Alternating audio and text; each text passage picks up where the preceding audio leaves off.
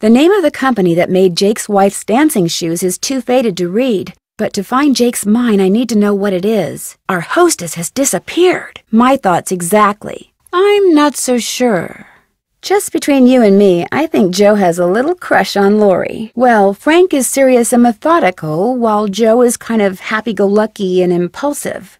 I kind of like Frank. I kind of like Joe. Neither. I like Ned, remember? Before she disappeared, Lori told us that the purpose of this train trip is to find out what happened to Jake Hurley, the train's original owner. Not yet, but the train is also rumored to be haunted by his dead wife. My first order of business is to find out what happened to Lori. Lori invited us on this train trip in hopes that someone will find out what happened to Jake Hurley, the train's original owner. No, but I can tell you one thing. There's more to the people on board this train than meets the eye, including Lori. Has either of you been to Copper Gorge, Colorado? Jake used to see strange lights at night bobbing alongside the train and thought it was Camille dancing. I saw these strange lights outside the train, the same lights Jake used to see, only he said it was Camille's ghost dancing beside the train. Charlena Purcell said Jake may have had to keep his wife's body with him on the train until the ground had thawed enough to bury her. John Gray has set up a bunch of equipment in Camille's train car in hopes of documenting distortions in the electromagnetic field caused by her residual energy. Lori Girard finds it a little unnerving, too. Lori gave me a letter that Jake Hurley wrote to his niece, telling her how to find his gold mine. Someone threw the emergency brake and almost derailed the train. Well, it looks that way, although I sure don't know why. According to Joe, someone or something. If you like funky little museums, Copper Gorge has one that's right up your alley. Looking for things that may have belonged to Jake Hurley. Talking to the curator,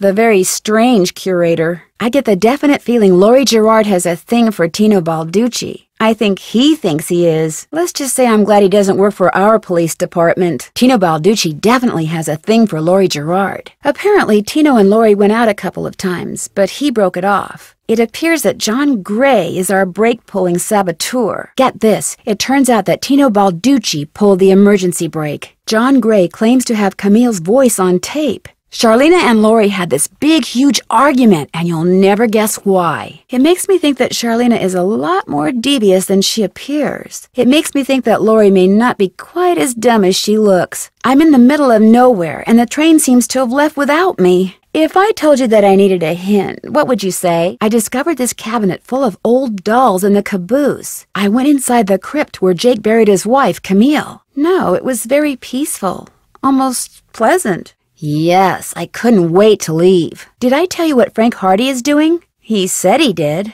Apparently Joe has trouble boiling water. Did you get the picture I sent you? Did you get the pictures I sent you? Did you get the other pictures I sent you? Did you get the other picture I sent you? I'll talk to you guys later. Talk to you soon. I better go. Catch you later. Still working on it. Not yet. No problem. That was easy. Finally. That was hard. No problem. Finally. That was hard. Where'd all this stuff come from? Are you Buell? How much does it cost to play them? Are they hard? Where'd all these artifacts come from? And you make money by selling taffy? No offense, but it doesn't look like you're attracting that many tourists.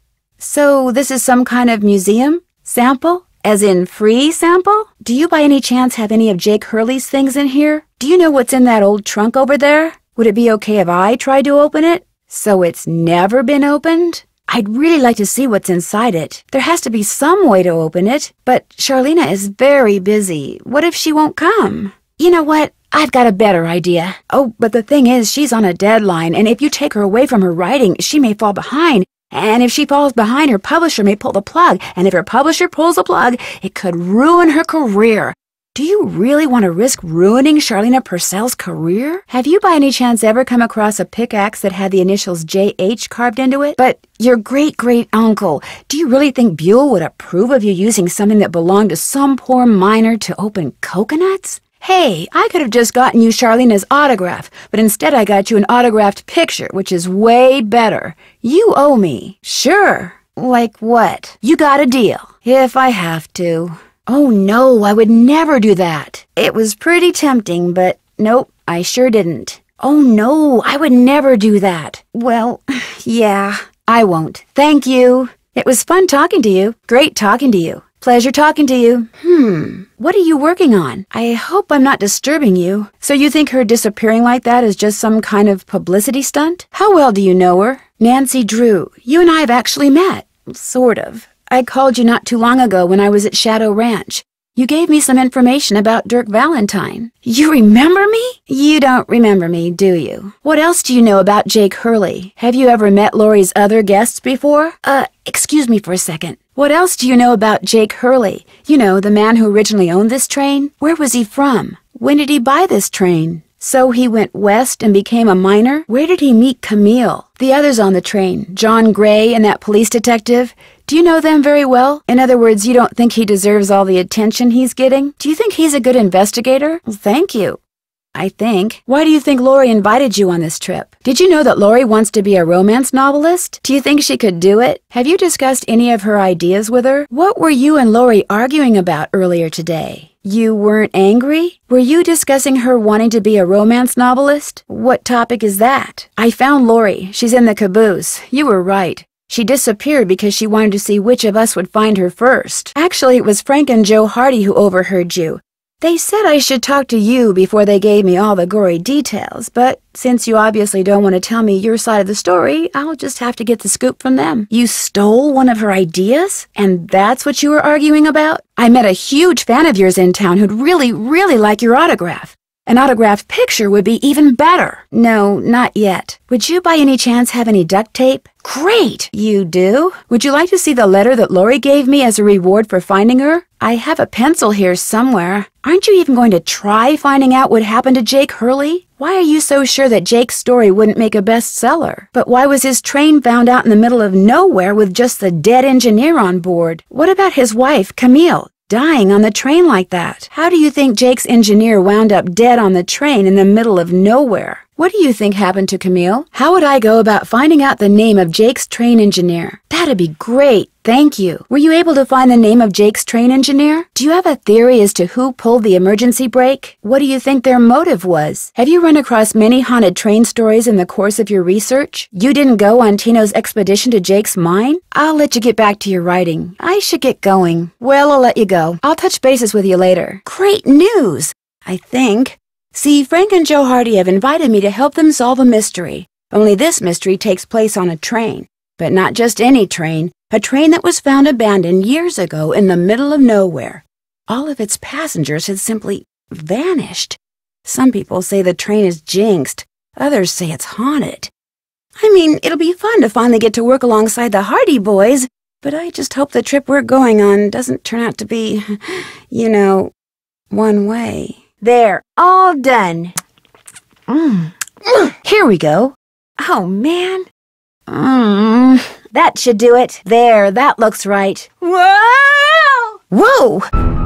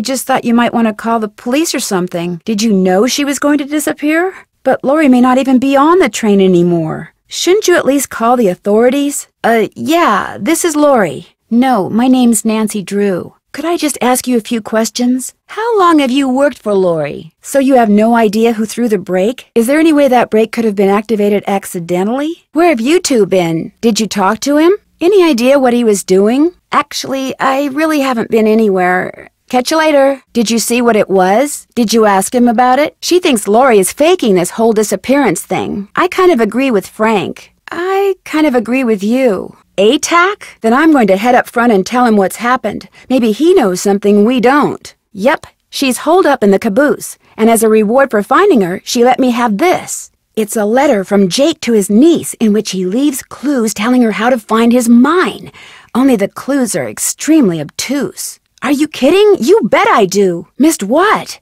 Who? So you don't know what they were arguing about? Let me look into it. I'll talk to you later, okay? It stands to reason that the only person other than Jake who had to have known the location of Jake's mine was the engineer on Jake's train. If the engineer had any surviving relatives, we may be in luck. It would be nice to know his name. Good idea, Frank. I'll ask her. I found a diagram for some kind of contraption Jake designed, but to operate it, you apparently need a pickaxe, some kind of lamp or lantern, and a spyglass. As a matter of fact, I think I've found the spyglass I need. My thoughts exactly. Just let me know if you run into any of those items around here, okay? I found a diagram for some kind of contraption that Jake designed, but to operate it, you need his pickaxe and some kind of lamp or lantern which it looks like he gave to somebody named Buell. Remember the design for that contraption I told you about? Well, I think Jake gave the pickaxe and lantern that you need to operate it to somebody named Buell. Well, that's where we're headed, so let's just hope for the best. That's okay. We can do more checking when we get to Copper Gorge. I think I know the name of Jake Hurley's engineer.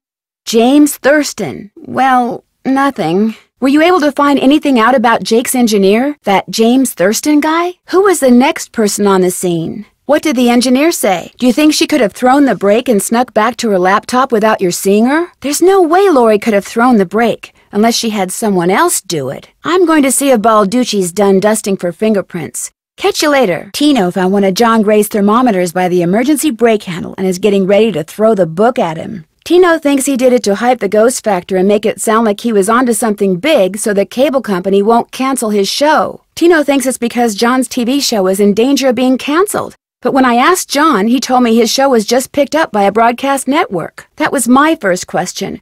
Which makes me wonder if maybe Tino's the one who's up to something. Guys, what's going on? Way to go, Frank. Way to go, Joe. Sounds like now might be a good time to do some serious poking around on the train. The eye of the tiger is fixed on a star. Zircon lies in fingers that scar. Amethyst floats in a hand from the deep. Citrine is what the foul mouth shall keep. Tourmaline by a soft arm is ensnared. Peridot rests at the foot of the mare. Got anything else? Balducci wants me to share everything I find out about Jake Hurley with him. Are you sure that's all he said? Do you think he could have been pulling your leg? Do you think maybe one of Lori's other guests is in on her disappearance? Well, whether Lori disappeared by force or by choice, what we've got to do now is find her. Has anyone talked to the engineer? Great. Catch you later. Ah, and you found that out when you stopped there so Joe could get a hamburger. Did you talk to him? Talk to you later. See you later. See you soon. See you in a bit. How do you think I should go about finding Lori? There's an old sampler in Camille's car that has a train on it and this weird scale in Jake's car, but I have no idea what to do with them. Any suggestions? I got this weird slug that looks like a little coin from Tino. But now what? I found this weird little coin or slug or something in Camille's car. But now what should I do? Any idea how to open the old cigar box I found in Jake's car? I have the feeling the letters AG that are on that old-fashioned cigar box mean something, but I, for one, don't know what. How about you guys? I need to find a bunch of gemstones, but I don't know where to look for them. Any ideas? I still don't have all the gemstones I need. Help! I think I've got all the gemstones I need, but how am I supposed to know which gemstone is what? I need to unlock the door to the caboose, but I'm clueless. Hint, please. I could use some help when it comes to opening that cabinet in the caboose. Got any hints? What's the deal with the grid with all the letters that's in the caboose? That dial on the work table in the car next to the caboose has got me stumped. When it comes to what I'm supposed to do with all those dolls, I'm absolutely without a clue. I don't get how I'm supposed to figure out each doll's name. Do you know? How do I get that compartment on the stove open? I could use some advice. I'm not sure what to do with the colored blocks I found in that drawer in the sleeping car. Do you guys know? The key to Camille's crypt fell through a grate in the cemetery. I'm stumped when it comes to getting it out. What can I do to win that racehorse game in the Taffy House? I need to win that gold miner game in the Taffy House, but I can't. Am I doing something wrong? I need to beat Tino's score at this lizard game he has, but to do that, it looks like I'm going to need some advice. I'm clueless when it comes to opening the old trunk that's in the Taffy House. What can you tell me about those pillars with all the squiggly lines on them that are in Camille's crypt? Any idea where I can get a thin piece of paper so I can make rubbings of what's on those pillars in the crypt? Something is locked in Camille's crypt that I probably need to open. But to do that, I'm gonna need a hint. There's some kind of old-fashioned steeplechase game in Camille's car, but I'm not sure how to play it. I found a piece of sheet music, but the question now is, what am I supposed to do with it? What do you think I should do with a dance step pattern I found? How do I move that painting of the eagle that's in the dining car? It doesn't seem to want to budge. When it comes to connecting those pipes, I'm wide open to suggestions. There's a panel in the sleeping car that I'd like to open, but it's got a four-digit tumbler lock on it. How can I get it open? How about a clue that'll help me get that grate in Camille's car open? Would you, by any chance, know how to use that special tool to open that grate in Camille's car? That contraption of Jake's that's supposed to show me where his mine is. I can't figure out where it gets its power. Any thoughts? I think I have the lamp, the spyglass, the pickaxe, the map, and all the gemstones that were listed on the diagram I found.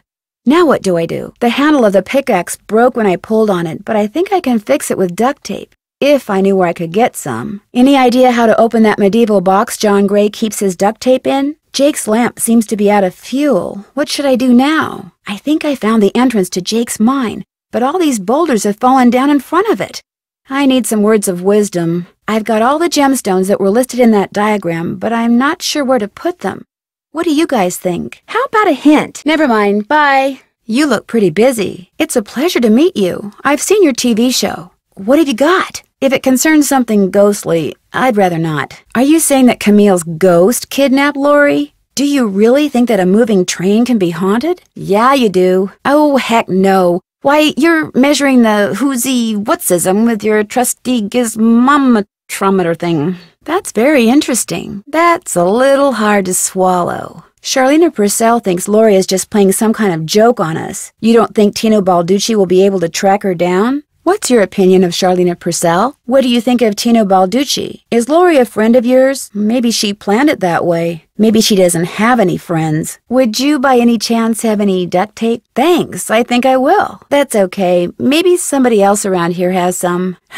nothing ventured, nothing gained. Not yet. Are you by any chance missing a small digital thermometer? Because Tino Balducci found it by the emergency brake handle when he was dusting it for fingerprints and now he thinks you're the one who pulled it. Is it true that your show is in danger of being canceled? Have you been in this room the whole time you've been on the train? Any truth to the rumor that your show's about to be canceled? Were you in this room the whole time prior to that emergency brake thing? I saw a bunch of weird glowing lights outside the window of the sleeping car. You're not? Charlena said Jake Hurley used to see them too, only he attributed them to his dead wife, Camille. So it's a natural phenomenon, not a ghostly one? Whatever it's called, it was unnerving to say the least. I found Lori safe and sound in the caboose, so I guess those vibes you got about her being in serious trouble were wrong. Me? I'm not in any trouble. I'm confused. Are you a scientist or a psychic? Could you be more specific? No offense, but I don't believe you. So you making any progress in here? You've got something?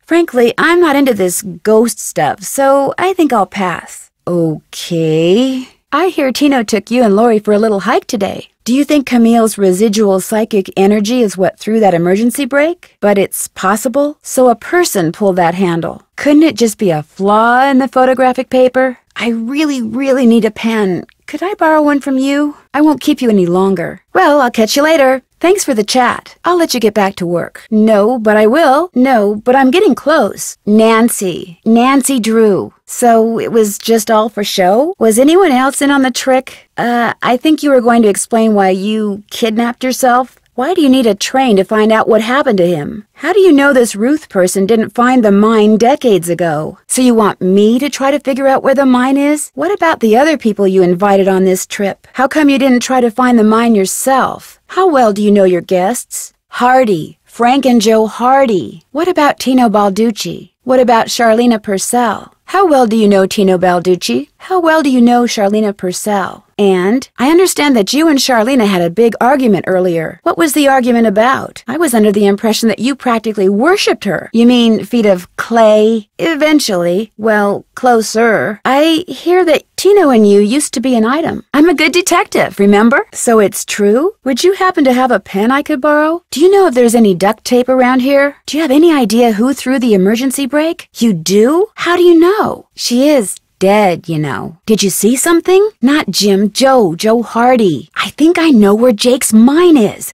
Tell the engineer to head for a place in Nevada called Brimstone Canyon. Not Francie, Nancy. That'd be great. You don't have to give me a head start. Don't worry, you can trust me. I wouldn't get your hopes up too high. The mine might be totally worthless, you know. Uh, thank you. I hear Tino took you and John on a trek to Jake's mine. He led you to an outhouse? Did he apologize? What did John say? For what? Well, I can't argue with him there. Guess I better get to work. We'll talk some more later. I'll come back later. Bye. Lori, are you all right? It is now. I'm sure Lori will be glad to tell you all about it. It's Nancy.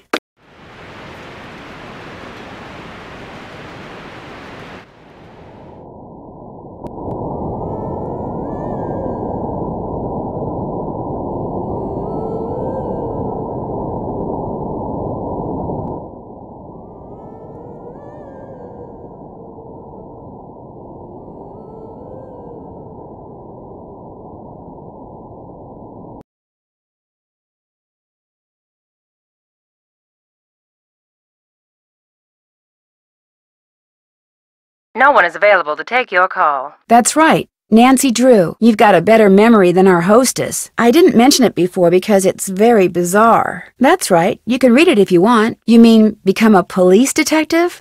No, I never have. Well, I don't know. Do you like what you do? Yes, I sure did. Tell me about them. I heard they stalked because you accidentally rear-ended them. I heard all they had was a plastic knife from a carry-out chicken place. I understand that you found something on the floor in the dining car. Where do you think it came from? Do you think it had anything to do with Lori's disappearance? May I see it? What are you going to do with it? Oh, thank you. I found Lori. She was hiding in the caboose. She disappeared because she wanted to see who'd find her first, which is why she left that clue behind. It turns out that slug wasn't so worthless after all. Have you had a chance to talk to Charlena Purcell? You don't like her? What about John Gray? Have you talked to John Gray? How did you and Lori meet? She seems to have a thing for your eyes. Did you two go out? How come you told me you and Lori never went out, and she told me you did? When people start answering them honestly, I do. I'm a detective. You know how it is. If you didn't want to dump her, why did you? Guess I'll just have to go talk to Lori again. But you didn't stop caring. Did you ever tell Lori any of this? Do you by any chance have a pen I could borrow? Sounds good to me. I think I'll pass. If your offer's still open, could I try to win that pen from you now? Do you by any chance have any duct tape? Maybe some other time. Could I try to win that pen from you again? Lori says she found this letter in a wastebasket. You don't think there's anything helpful in there? Did you find any fingerprints on the emergency brake handle? Did you do anything else besides look for fingerprints? So you have no idea who threw the brake? Have you confronted John with your suspicions? Who else have you told about this? You're going to arrest him? But couldn't someone else have dropped that thermometer? You're the one who pulled that emergency brake, aren't you? You stole one of John Gray's thermometers and planted it at the scene. Care to explain how packing material from the box those thermometers were in wound up on the floor over there? You're right, you don't. Neither do the other passengers. But unless you give me a good reason not to, I think I'll tell them anyway. Well, no harm done, I guess. Well, sure. Maybe later. Do you think I could take a closer look at that cougar statue? Thank you. Interesting. I just wanted to get a good look at it, that's all. What do you think happened to Jake Hurley? What did you find? You know where the mine is? Actually, I carry a pencil. So, what do you think happened to Lori? When do you think that will be? So, you're gathering facts? So, how did your expedition to Jake's mine turn out? I'll try again later. I'm kind of in a hurry, Mr. Balducci. Thanks for your help. You've been a big help. It's been great talking to you. Hope I didn't take up too much of your time. There, I did it. Oh no! What I need is some duct tape. Lori? That's where Jake's mine is! Brimstone Canyon! Looks like to make this thing, whatever it is, I'm going to need a spyglass, a pickaxe, and a lamp. James Thurston. Somebody must have thrown the emergency brake. Better not mess with that puppy. That looks just like the stuff John Gray has his thermometers packed in. Sorry. Oops. Nothing happened. Hmm, this contraption is obviously powered by something, but what? Those look like steam pipes. Brimstone Canyon. Sounds like the train's leaving. Where's it going? Well, Frank and Joe will make sure it comes back for me. I hope. Hello? I did it! I won! What is that? Looks like a letter. April 14th, 1865. Uh-huh, uh-huh, uh-huh, uh-huh, uh-huh. Your humble friend, Abe. Oh my gosh! This is from Abraham Lincoln. And April 14th is the day he was assassinated. This letter must be worth a fortune. Camille. It figures he'd be carrying a picture of her. Hmm, there's something underneath it. Lori! Oh, nuts. No signal. Still no signal. The opening's blocked. I'm trapped. I can use this to open that grate I saw in Camille's car. Sorry. I better not. John's still got his microphone set up. I bet I know what this is for. Okay, thank you. J.H. For Jake Hurley, obviously. Must be Jake's insignia. Looks like Tino's through dusting for fingerprints. Pretty. Looks like some kind of gemstone. Another gemstone. This looks just like the insignia I saw on the train. I'll bet this was Jake's trunk. J.H. I wonder if this used to be Jake Hurley's trunk. If this was his trunk, maybe the pickaxe and lamp that I need are inside. I can't open this yet. I still don't have permission. Hmm, this indentation looks familiar. Well, here's Jake's lamp, but where's his pickaxe? Mmm, wax paper for the taffy. The words Jake told Ruth about must be hidden on these pillars. Maybe they'd stand out if I made some rubbings. If I had some paper, I could use my pencil to make a rubbing of them. Wax paper would be ideal. Oh, something tells me I'd better not eat any more. Well, there's the key. Darn, the name of the shoes is so faded I can't tell what it is. Looks like to get some taffy on a stick, I'm going to need two different tokens. Oh no, my battery's dead. Uh, Uh-oh, I'm getting low on batteries. Battery's still dead. Can't make a call when I'm out of batteries. This thing's no help without batteries. Guess Camille liked to collect dolls. Looks like some kind of sewing sampler. An old scale. Strange. It seems to be built into the wall. Looks like an old-fashioned cigar box. Wonder why it's locked. Silver. What do all those colors have to do with silver? A very primitive periodic table from the 1800s. That's something you don't see every day. Citrine, amethyst, zircon, those are all gemstones, I think. Locked, naturally. I wonder how you open it. A square and a duck. Now, where have I seen those before? It looks like this thing opens up. But how? Gotcha! In the letter he wrote to his niece, Jake said she should go to Camille's grave and let Camille's goodness rub off on her.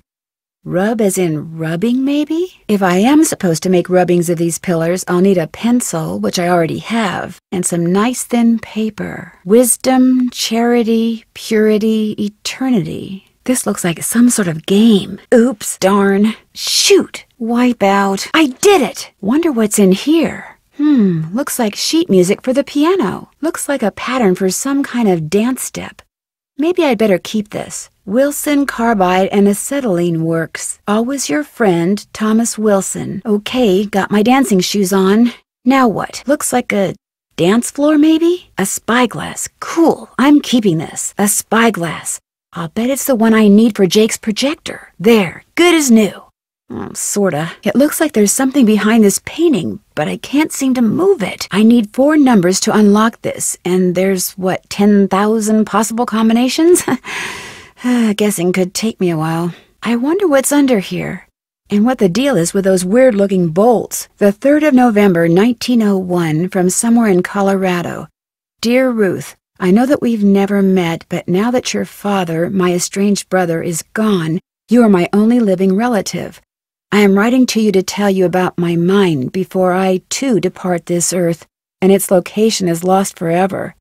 I cannot tell you outright where it is, lest this epistle fall into the wrong hands, but with the information which follows, and with my train, which shall be yours upon my death, I promise that you'll be able to find it. First, you will need a map.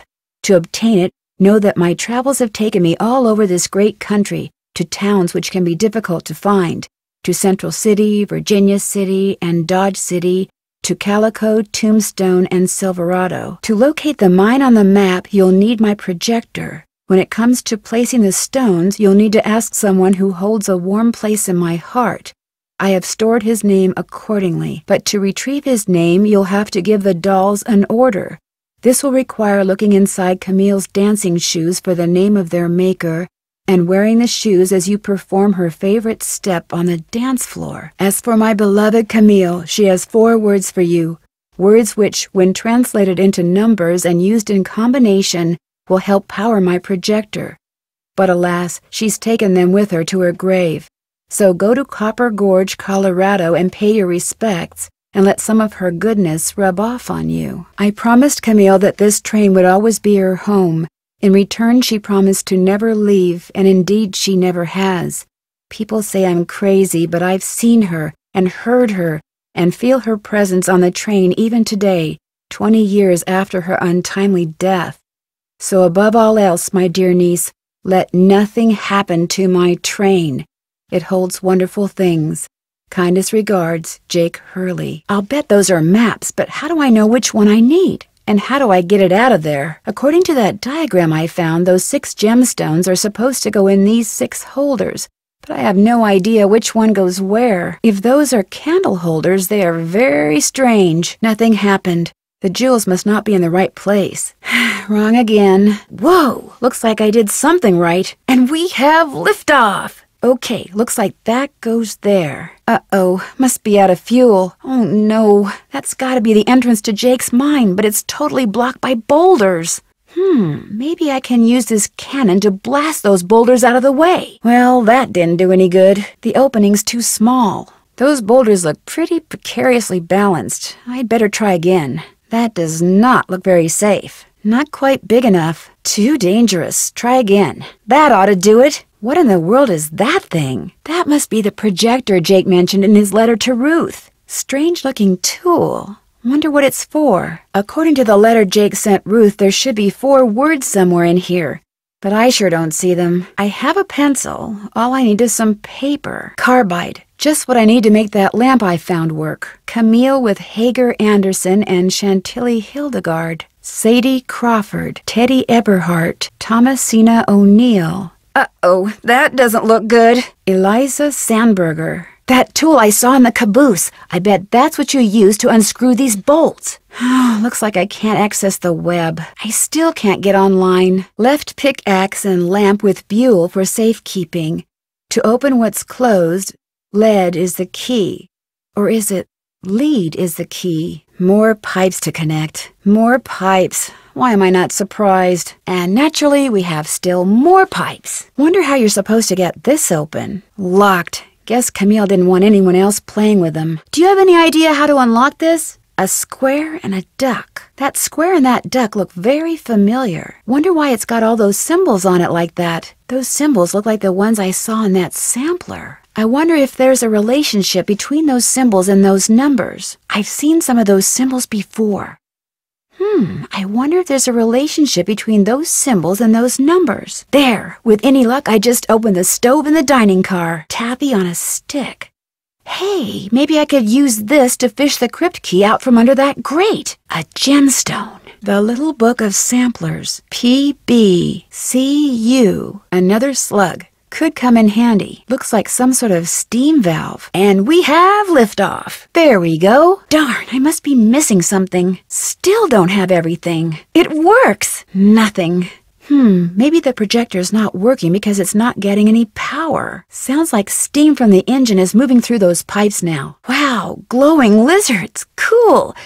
But weird. Looks like I'm going to need my flashlight. Whoa, what's going on here? Jake's color wheel seems to be pointing toward blue. Jake's color wheel seems to be pointing toward green. Jake's color wheel seems to be pointing toward orange. Jake's color wheel seems to be pointing toward purple. Jake's color wheel seems to be pointing toward red. Jake's color wheel seems to be pointing toward yellow. Now it's pointing toward blue. Now it's pointing toward green. Now it's pointing toward orange. Now it's pointing toward purple. Now it's pointing toward red. Now it's pointing toward yellow. Wonder what that's doing there. Another symbol. Uh-oh. There's some kind of chamber on the other side of those poles, but if I move the wrong one, the ceiling will collapse.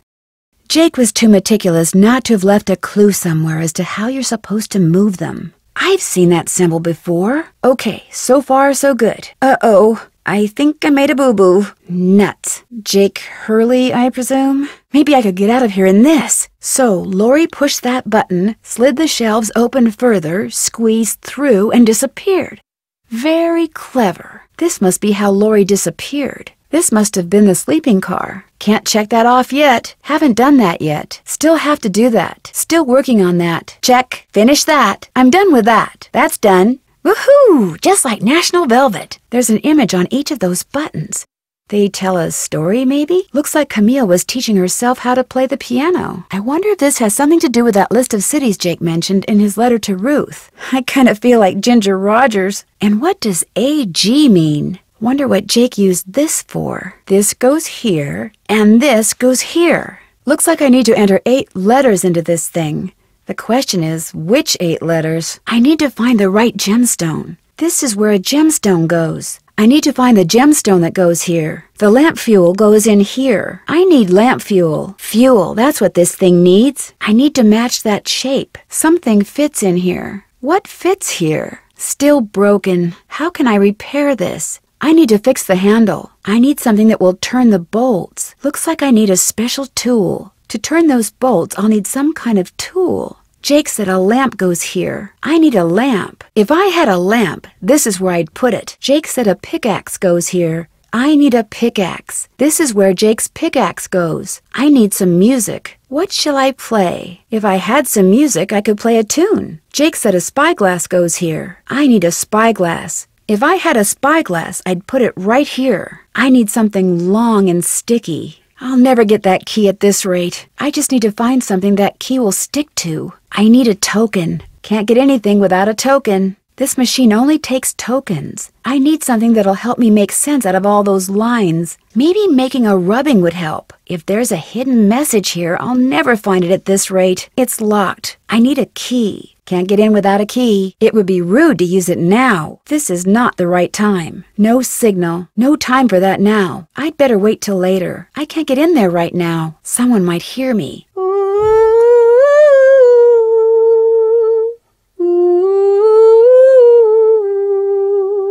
I got it from Tino. You can keep it. If you could have it say to Fatima, that'd be great. If you could have it say to Fatima, that'd be great. I'll bet I need this stone to build that thing in the diagram I found. But if I remove it now, Tina will know I'm onto something. Sickly Sarah caught a germ so new it made one of her pretty green eyes turn blue. This door goes outside. Opening it now would not be a good idea. Can't go outside until the train stops. If I don't find a way out of here soon, I'm gonna run out of air. Hmm. Nothing happens. I'll bet I have to wind it up first. Jake must have made those symbols. The question is, why? I need to slow down. Going uphill will slow me down. I need to go faster. Going downhill will make me go faster. Oh no, I'm going too fast. Oh no, I've stopped. I'll never get out of here now. Guess I'm done. Strange. All that's left is a jumble of letters. What did you find? Mama. Oh, ow, oh, oh, oh, oh, oh, oh. Now where the heck am I? That lamp felt pretty empty. I'll bet it's out of fuel. Doesn't work. Maybe it's because I still need to get fuel for that lamp. Darn, must be empty. Well, so much for that. Still empty. Wonder what's in here. Hmm, maybe Bess and George can help me figure out who made them. That could be one of the gems I need. Maybe Tina will let me take a closer look. First, you will need a map. To obtain it, know that my travels have taken me all over this great country, to towns which can be difficult to find, to Calico, Silverado, and Central City, to Dodge City, Virginia City, and Tombstone. Jake's mine must be somewhere on this map, but where? Something tells me I better not go in there without permission. And I lose. Rats. Fooey. Loser. That's what I'm talking about. Oh, yeah. And we have a winner. Yes, indeedy. Hmm, no token. Guess it's all out. Must be out of tokens. Wonder what's supposed to go here. It'll take forever to dig through those rocks. There's gotta be another way out of here. Now how am I gonna get out of here? I'd better get out of here before something else caves in. I can't get through here. I wonder if that eagle has something to do with the eagle in that painting in the dining car. An eagle. Where else have I seen an eagle? There, hopefully that just moved the painting of the eagle in the dining car away from whatever's behind it. There's still water in it, which means it must be out of carbide. There, it should work now. Oh, right, this is the entrance to Jake's mine. I wonder if it has something to do with that symbol I saw before. I wonder if it has something to do with those symbols I saw before. I should be able to get through there now. I bet the animals are trying to get to the right shore. I bet the animals should start from the left shore. Nope. Darn. Shoot. Nuts. Hello? Hi, Bess. George, get over here. It's Nancy. It's about time you called. What's up? Hello? Hey, Bess, it's me. Got the name of those dancing shoes yet? Still working on it. Hello? Me again. Just checking to see whether you were able to find out the name of those dancing shoes yet. Your wish is our command. Hello? Hi, Bess. Hey, what's going on? Hello? It's me. Were you able to get a hold of Frank and Joe? We couldn't get through. They must have their phone turned off or something. Hello? It's me. Still haven't talked to Frank and Joe. Is everything okay? Hello? Hi, Bess. Hey, Nance. Listen, I'm dying to know. What's it like to finally work with Frank and Joe Hardy? Hello? Hey, Bess, it's me. So where's the picture of the dancing shoes you were gonna send us? And me. Hey, George, what's up? Oh, like you're not just as curious as I am. She's the one who insisted we call you Nancy. Only because you're driving me crazy. I'm supposed to be helping her paint her room, but every other brushstroke she's like, Where do you think she is now? How do you think the Hardy Boys are doing? Why do you think she hasn't called? What do you think Lori Girard is wearing? Oh, George, that is so not true. I could care less what Lori Girard is wearing. I'm sorry. You know, actually, that looks kind of cool. Nice try, Bess. No, really. You're just saying that because you're afraid I'll bail and you'll wind up having to paint this dump all by yourself. George, I kid you not. You should seriously think about doing some major highlights in that color. What color is it? Adobe beige. Nice try, Bess. What's going on, Nan? Hello? Nancy, hi, it's me. Hi, Bess. What's up? You're the one who's on the train with a bunch of famous people. You tell us. This is torture, Nancy. I'm dying of curiosity here. Bess, just calm down. Oh, like you're not just as curious as I am. She's been begging me to call you ever since she got here. Only because you've been driving me crazy. I'm supposed to be helping her paint her room, but every other brushstroke she's like, Where do you think she is now? How do you think the Hardy Boys are doing? Why do you think she hasn't called? What do you think Lori Girard is wearing? Hey, I know what you can do. Take a picture of them with your cell phone, then send it to us, and we'll check them out for you. But I thought you guys had to paint Bess's room. Boring. Besides, we're going to have to take a break soon because we're almost out of paint. Probably because Bess has gotten more on me than she has on the walls. Anyway, send us a picture of the shoes via cell phone and we'll get right on it. Send us a picture of the shoes via cell phone as soon as you can. Actually, I already sent you a picture of the shoes. Well, then, hey, we're on it. Ah, you guys are the greatest. I know. Need anything else? But hang on to your hat. The name is a real mouthful. The shoes were made by Chaussettes Chatoyantes. C H A U S S E T T E S C H A T O Y A N T E S. That's French for shimmering socks. Apparently, if you were into dancing in the 1870s, that was the company to get your shoes from. Chaussettes Chatoyantes. Got it. Thanks, guys. Thanks for letting us help. What do you mean, disappeared? I mean, the train went into a tunnel, everything went dark, and when the train came out of the tunnel, no Lori. She just disappeared. Publicity stunt. Remember the time she was allegedly kidnapped from her Vegas hotel room? Yeah, the guy across the hall just happened to have a camera and got it all on tape. It made the evening news in practically every city in the country. And then there was her daring escape the next morning. Only it turns out she faked the whole thing. Of course, she claims her ex boyfriend faked it to get back at her. She thought she was really being kidnapped. Like anybody believes that. Sounds to me like somebody has been spending a lot of time reading the tabloids. George has. Very funny. So what else is going on? Oh, come on. You don't really think something's happened to her, do you? Oh, Bess, you're incorrigible. Hey, if you don't want to hear, just go over there and don't listen. She's listening. So what's it like? It figures. I thought you liked Joe. I've always thought he was cute. Personality wise, Frank's more my type. Well, the real question is they're not trying to boss you around and be all manly all the time? No, not at all. They're great. George has a thing for Frank. Well, you like Joe. But the real question here is Which one does Nancy like? Ooh, yeah. Which one do you like? I knew it! You're just as big a sucker for those boyish good looks of his as I am. You're not going to say anything to him, are you? Me? My lips are sealed. The way they were when I told you that I liked that boy who works at the snack shop? That was different. How was it different? I was younger then and had less self control. It was last week, Bess. Right. Don't worry, Nance. If she starts to say anything to Frank, I'll just stomp on her foot. It was last week, Bess. Right. Don't worry, Nance. If she starts to say anything to Joe, I'll just stomp on her foot. Ow! Hey, what'd you do that for? Just practicing. Was he murdered or something? No one knows. He was married to a woman named Camille, but she died, and he eventually vanished while mining for gold. His train was found abandoned in Blue Moon Canyon, Nevada, with no one on board but his dead engineer. Whoa, spooky. Have any theories? Hmm. So first Hurley's wife dies, then Hurley vanishes, then the engineer dies, then Lori vanishes. A pattern, maybe? Bess, do us all a favor and leave the detective work to Nancy, okay?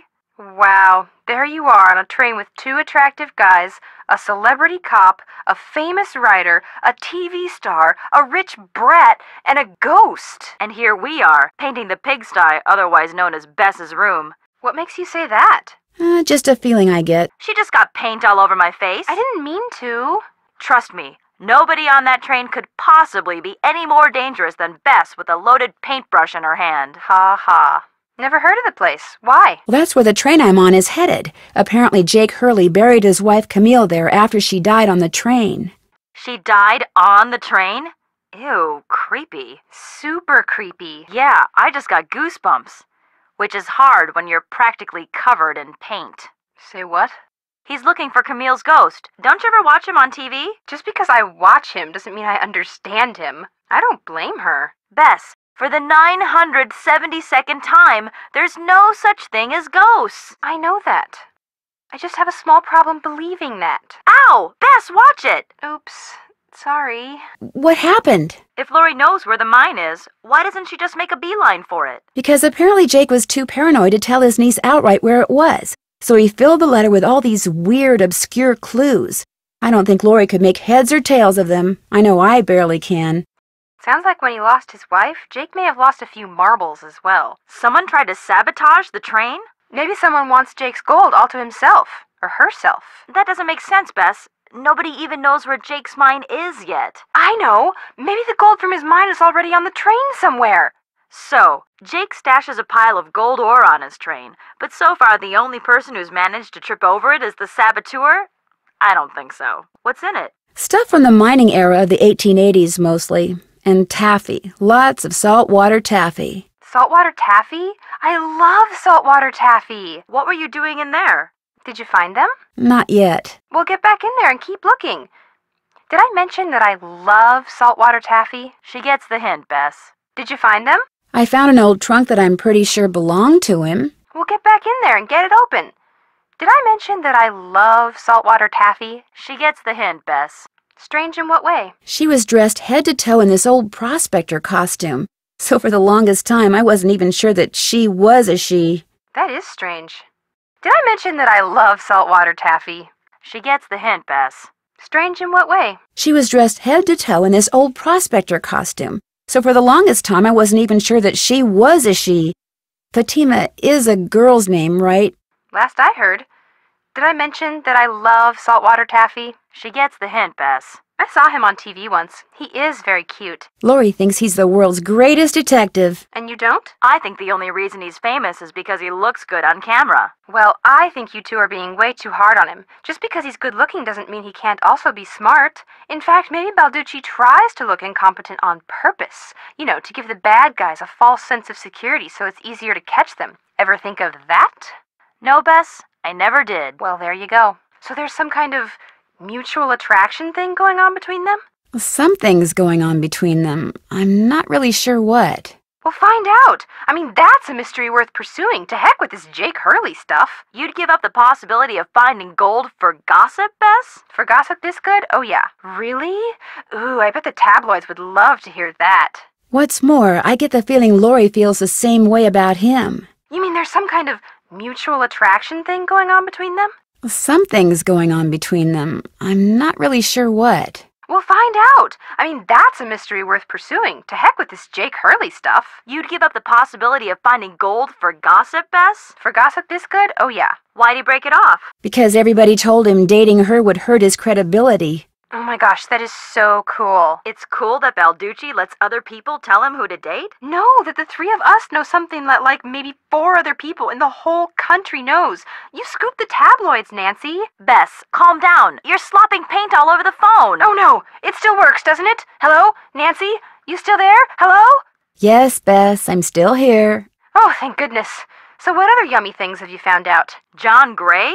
Are you sure? Balducci is sure. He found a digital thermometer like John uses on his TV show at the scene of the crime. He theorizes that it fell out of the saboteur's pocket as he was yanking on the brake handle. Looks like Balducci is a decent detective after all.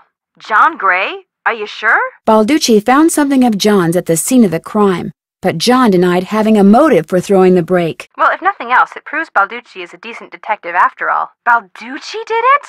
He framed John Gray so he could arrest him and get some positive press for himself. I think it finally dawned on him that he's not the great detective everyone thinks he is, and probably never will be. How pathetic can you get? Cute and pathetic.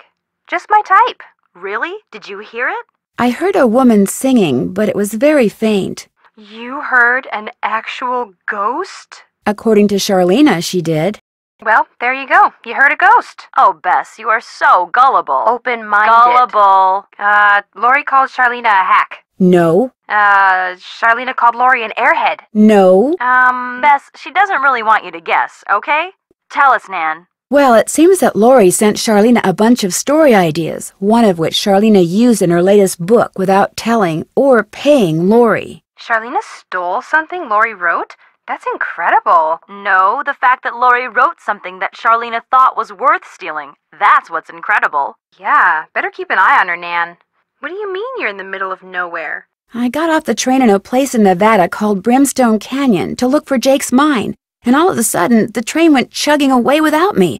I mean, I'm not in any danger or anything, but I don't have the Hardy Boys' number with me, and. Say no more. We'll call Frank and Joe and tell them to go back for you right away. I'd say it's about time. I'd say fire away. Old dolls make my skin crawl. Whose were they? Well, I'm assuming they belong to Jake's wife, Camille. Old dolls make my skin crawl. Whose were they? They belong to Jake's wife, Camille. Jake mentioned them in his letter to his niece. They could have been Jake's, you know. I mean, they never had a child of their own, right? So maybe after Camille died, he went a little bonkers. Oh, Bess. Hey, I'm just trying to think outside the box here, okay? Something it wouldn't hurt you to do from time to time, little Miss No Imagination. You know, maybe I'll just put this paintbrush down, walk out that door, and let you do this all by yourself. No! You've got to keep painting. If I don't get this done by tomorrow, I'll be grounded for a month.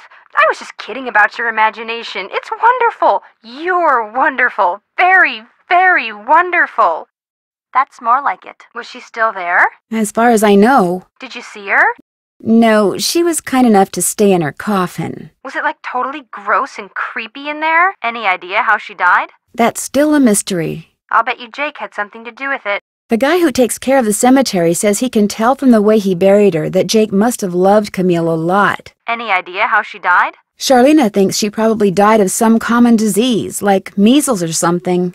I'll bet you Jake had something to do with it. The guy who takes care of the cemetery says he can tell from the way he buried her that Jake must have loved Camille a lot. Any idea how she died? Frank told me that he overheard the grandson of Jake's engineer say she died after she fell and hit her head. Did she fall? Or did Jake, you know, give her a little push?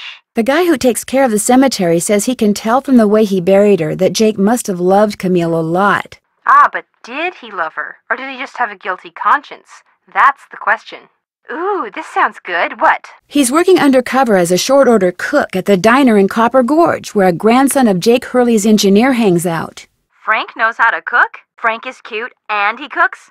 That does it. Which one of you wants to be my maid of honor? Why am I not surprised? Hey, go easy on him. When somebody's that cute, knowing how to boil water is optional. We sure did. Very cool. You bet. Send us more. Pretty neat. More, more. Yeah. Interesting. Yep. Got any others? John Gray looks just like he does on his TV show. Yeah, very cute and intelligent. Lori Girard actually reads in her spare time? It's a romance novel. Ah, Tino was very photogenic. I'll say. And he looks great in pictures, too. What? Charleena kinda dresses funny. You know, for a romance novelist, don't you think? Successful people can dress any way they want, Bess. That is the weirdest contraption I've ever seen. Jake Hurley must have been one imaginative dude. That was a picture of Jake and Camille, right? Right. They made a very sweet couple. Don't send any more pictures of tombs, okay? George finds them disturbing. Very funny. Those dolls totally gave me the willies. Yeah, they're like something out of a horror movie. You bet. Keep 'em coming. Loved 'em. We want more. Yeah, thanks. Keep it up. We sure did. Very cool. They were okay. I thought they were interesting. Oh, yeah. Ned. Good old dependable Ned. You think he's boring, don't you, Bess? You think I think he's boring? Hey, I think what you think is much more important than what I think. Translation? She thinks he's boring. Bess, whatever I heard was barely audible. For all I know, it could have been a voice off the radio or something. Did the real Camille like to sing? You mean like a ghost? Joe believes in ghosts? How about that? You two have something in common. You mean something else in common. We're both, in our own ways, very cute. Right. Oh, shoot, I keep forgetting. So what else is going on? Remember, when in doubt, call. Let us know what happens.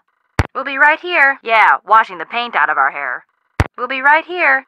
Okay. Well, George, back to work. Okay. So come on, Nancy. You're on a train full of famous people bound for who knows where. So dish already, would ya? Bess, calm down. Look what you did. You got paint in my hair. You bet. I think you better talk to those two friends of yours before you talk to me. Yes? I hear you found our hostess. Congratulations. Have you found a pen so I can autograph that picture? More questions? If I don't seem concerned, it's because I'm not. Lori Girard is a young woman whose only goal in life is to be famous. She craves attention and habitually uses her father's considerable wealth to get it. I just think she couldn't resist showing off in front of all of us minor celebrities. I don't really know her, I just know of her. The only reason I accepted her invitation was because I've come across the name Jake Hurley several times in my research, and this seemed like a good opportunity to learn more about him. What was your name again? Ah, Nancy Drew. No. I'm writing my next book. I'm on a deadline, so until I write those two most wonderful of all three-letter words, the end, everywhere I go, my laptop goes, and every chance I get, I write.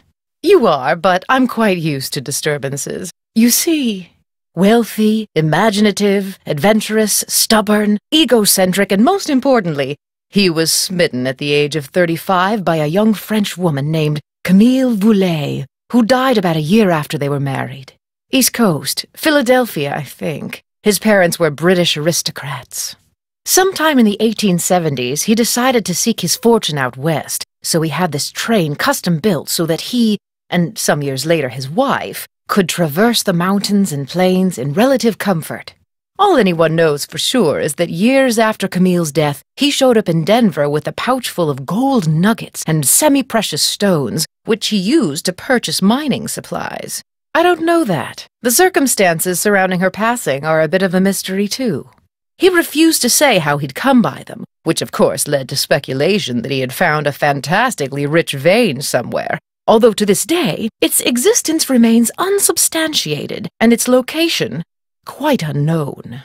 I don't know them at all. Needless to say, I don't watch television, so I've never even seen Mr. Gray before, although I do know that his profession, if you can call it that, is rife with crackpots. As for Mr. Balducci, from what I've read, his success in solving those robberies was less a matter of talent and more a matter of being in the right place at precisely the right time. No, you and those two Boy Scouts you're with would make better detectives. Is that all, dear? No doubt because I'm such an authority on life in the Old West, and because I'm so good at using old information to unearth new information. My knack for research is, well, it's a gift. Doesn't everyone? No. Could we please talk about something a little more pleasant? Lori and I? We weren't arguing, we were simply discussing a topic about which both of us are passionate, that's all. No, and even if we were, that's really none of your business. I know that sounds harsh, but really, Nancy, eavesdropping is so tacky. And you won. Congratulations. No, no, you don't have to do that. A storyline that Lori submitted to me found its way into my last book, despite the fact that she never received compensation for it. She's reading the book now, and when she got to that part, she freaked. She had no business sending me unsolicited material. But technically, yes. Now, legally, she can't prove anything, and I'm certainly not about to admit anything, and it's not as if she needs the money. But that's what we were arguing about. For what it's worth, I'm going to talk to this producer I know to see if he'll cast Lori in his next movie. It'll help ease my conscience, and who knows? She could wind up being a star. I mean, she is blonde. Imagine that, me having fans way out here in the boonies. Well, I'm sure I have a picture around here somewhere. But what I don't have is a pen. Usually I just ask my assistant for one. Anything else? Duct tape? Why, I happen to have a roll right here in my pocket. Don't be a ninny. Of course I don't have any duct tape. What do I look like, a hardware store? The one in which Jake Hurley supposedly tells his niece how to find his lost mine? No, thank you. I happily leave it to you to try to solve the mystery of his disappearance. You can afford to look foolish, dear. I can't. A pencil won't do, dear. It has to be ink. See if you can borrow a pen from somebody.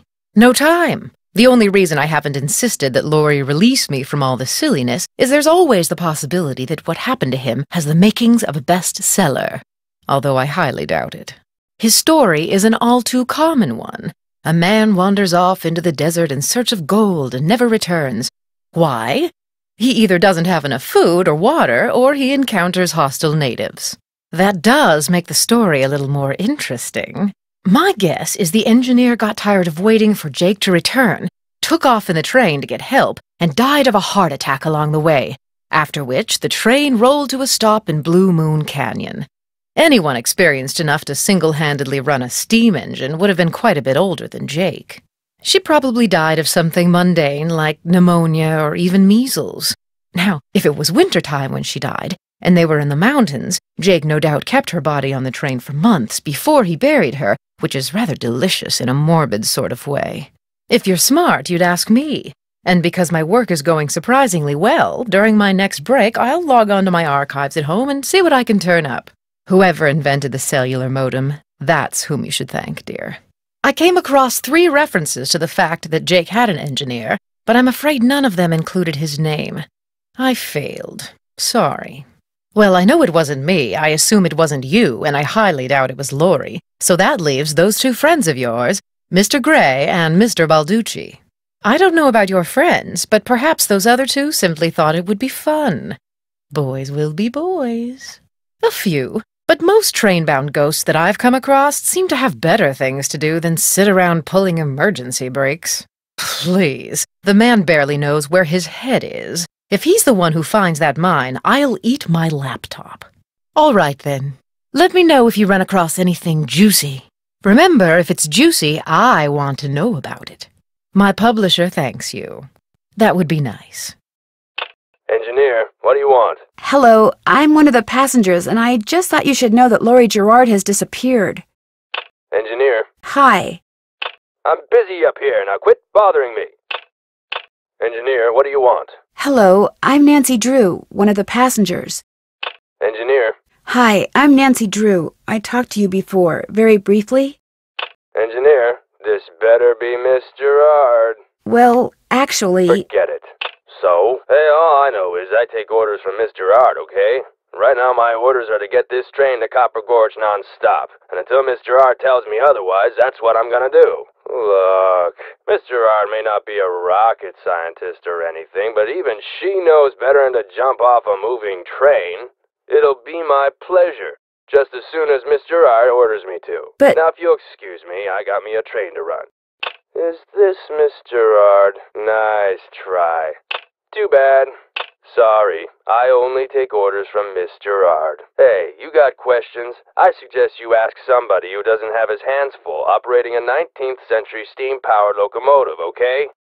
You're not the one who pulled the emergency brake, are you? no. Good. 'Cause if you were, I'd have to come back there and throttle you. Old as this train is, it's a wonder it stayed on the tracks. Like I just said, if I did, I'd be back there tanning their hide. You pull on the handle, the wheels lock. You don't pull on the handle, they don't lock. Did somebody pull on the handle by mistake? I guess it's possible, but if you ask me, anybody that stupid has no business being on a train, or anywhere else for that matter. Now, if you don't mind, I gotta get back to work. Got Charleena's autograph for me yet? Still waiting on that autograph. Got that autograph? Got something better an autographed picture. You need that pickaxe. I need that taffy sorted. Better get moving, little missy. Got that taffy sorted? That taffy ain't gonna sort itself, you know. You want that pickaxe, you better get a move on. Welcome back. You still here? Why, it's the best kind of museum, sister. It's free. You can gape and gawk and ooh and ah to your heart's content. Least you can till I close up. Some taffy on a stick'll cost you two tokens, which you can get by winning both those games over there. Well, ain't you the little penny pincher? Danged if I know.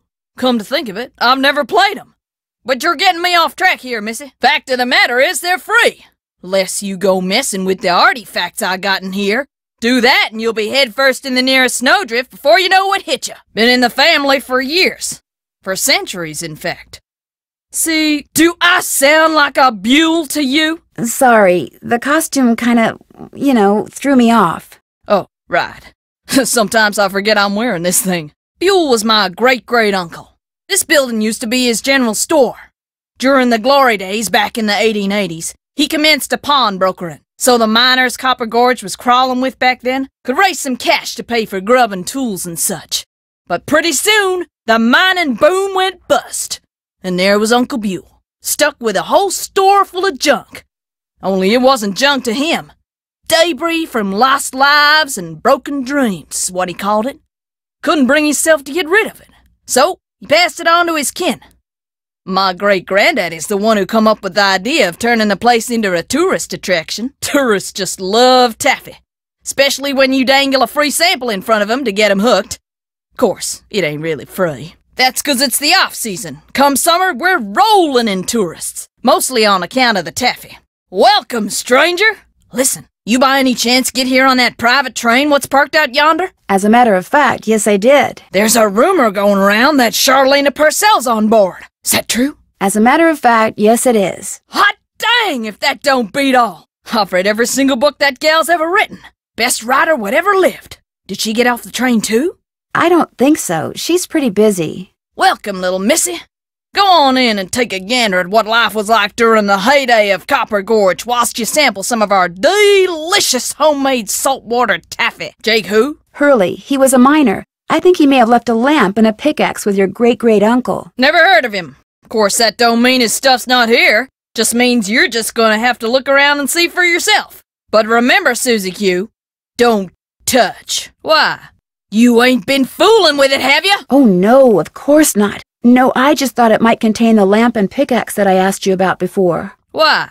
You ain't been fooling with it, have you? Oh, no, of course not. It's just that I think it might contain a lamp and pickaxe that used to belong to a miner named Jake Hurley. Well, if it does, you can forget about him, 'cause it's locked. None of my kin have ever been able to figure out how to open it. Not even my cousin Alvin, and he went to junior college. Well, now, I certainly ain't gonna let you break it open if that's what you're getting at. Oh, no, I would never use force, believe me. But in order to try to get it open, I would have to, you know, touch it. Not since whoever owned it left it here. Nope, sorry, not gonna happen, little missy. Unless. Unless? Then I guess you'll just be out of luck. Then I guess you'll just be out of luck. No, actually, you will be. Now, how do you figure that? Well, Now, what could be better than me coming face to face with the lady who writes the finest literature this here country's ever seen? well, that's just it. If you were to just meet her, you'd have nothing to show for it. Afterwards, she'd go her way and you go yours, and that would be it. But if you were to, say, get her autograph, well, then you'd have something to hang on the wall and brag about. Okay, make it so's I can meet her and get her autograph. Good heavens, of course not. All right, you just get me Charleena's autograph, and you got a deal. Just make sure she uses my name. I want it real personal like. You bet. And your name is. Well, you just better work a little harder. I ain't getting any younger, you know. Well, get a move on. I got where I'm gonna hang it all figured out and everything. Hot dang! She spelled my name right and everything. Go ahead, little missy. Have a go at that trunk. Whatever's inside it's all yours. Why? Why? Because it used to belong to Jake Hurley, and I really, really need it. I thought it would be in that old trunk, but it wasn't. You got that trunk open? Wait till I tell Cousin Alvin. He thinks he's so smart. As for that pickaxe, so happens I got it upstairs in my kitchen. Use it to open the coconuts Aunt Lucy sends me every year from Hawaii. Do you think I could have it? Why, no, you can't have it. How would I open them coconuts? Ah, okay. I'll let you have the pickaxe. After you do something for me. I got a bunch of taffy over there what needs sorting. Just follow the directions that are posted by the machine. Them belts get moving pretty fast, so you gotta keep your wits about you.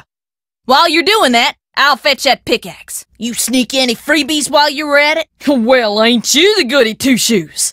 Truth is, wouldn't have minded too much if you had, long as you fessed up to it. Liar, liar, pants afire, I saw you, Miss Smarty Boots! And seeing as I don't take kindly to liars, you can just get yourself back over there and sort me up another batch. And you behave yourself this time. Or no pickaxe. Well, I appreciate your honesty. Fact of the matter is, I can never sort that stuff without sneaking a few myself. Here's the pickaxe.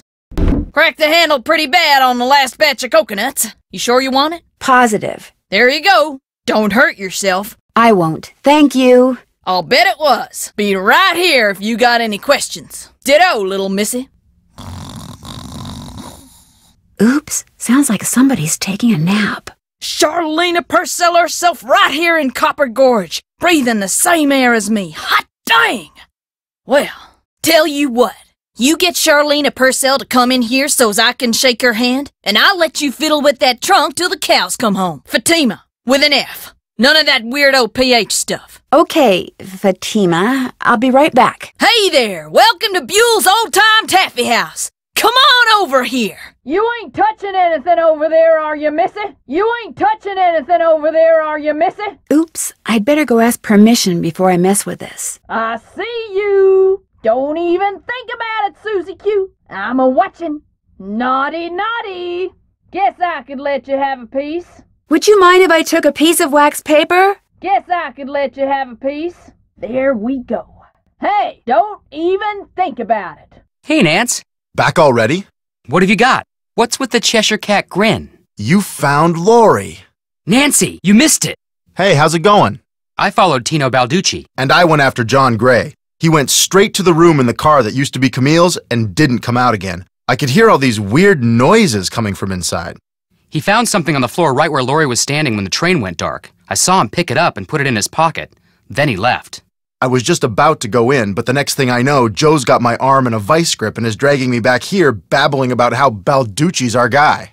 When I tried to talk to him, he just kind of brushed me aside and said something snotty like, I'm on the job here, Junior, so just go back to the playground and stay out of the way.